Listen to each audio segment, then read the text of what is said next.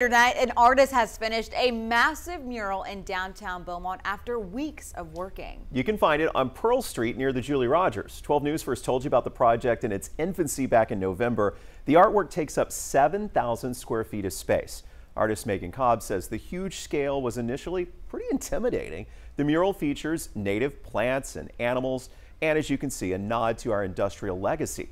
Cobb told us this took her around 250 hours when you factor in the planning, the painting, and a busy home life. Cobb says she's excited for everybody to see it finished. I was so um, humbled and excited to be able to paint scenery from, from my life, from my childhood, and just this area. It's very representative of the area.